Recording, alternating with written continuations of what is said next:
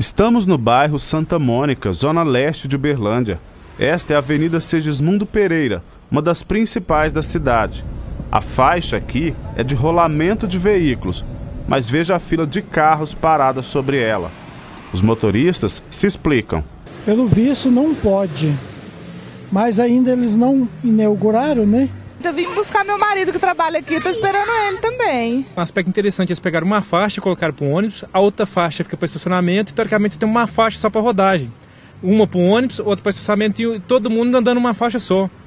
Não entendi. A dúvida está relacionada ao projeto de obras do novo corredor de ônibus. A obra faz parte do programa Uberlândia Planejada, com investimento de cerca de 25 milhões de reais. Serão 11 estações ao longo do corredor.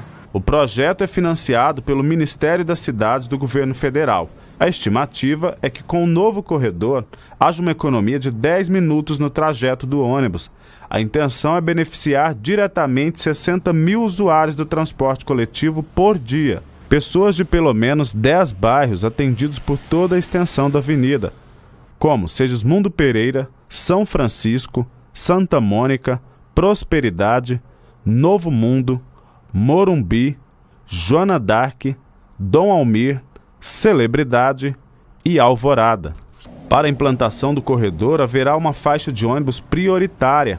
As pistas, que tinham 8 metros de largura por sentido, ficaram mais largas, com 9 metros e meio.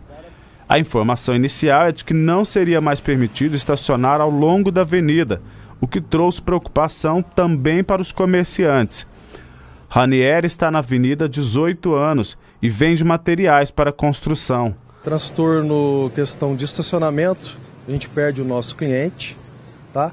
Transtorno sonoro, ok? Porque virou um cruzamento sem sinalização nenhuma, nenhuma informação, nenhum CETRAN, você vê a, a obra não terminou e você não vê nenhum agente do CETRAN aqui administrando essas coisas. Você acha que essa questão do da faixa de estacionamento, é, o fato dos clientes não poderem parar ali é, é vai acabar afetando seu negócio? Muito. Luciano é dono de uma sorveteria na avenida há 20 anos. Ele conta que a informação inicial da falta de estacionamento para os clientes o deixou preocupado. Mas recentemente foi informado de que a faixa para estacionamento será mantida. Eu liguei no, no, no CETRAN e eles me confirmaram que eu poderia ampliar aqui, porque nós estamos investindo mais no comércio. E eles disseram que poderia investir tranquilo, que teria o estacionamento na faixa, em toda a rua.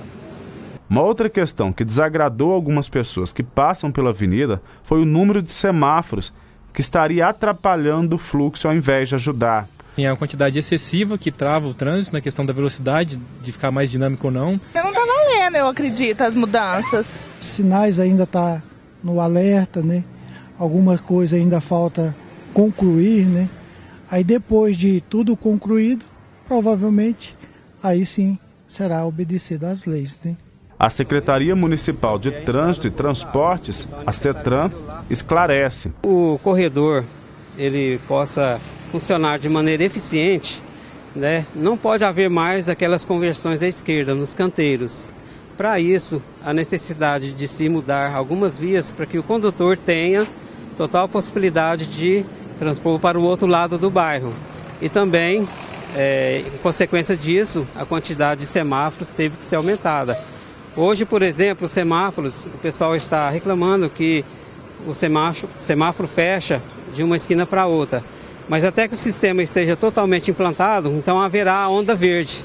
Então o motorista terá o tempo livre para transcorrer toda a Segismundo, para não haver essas interrupções nos cruzamentos.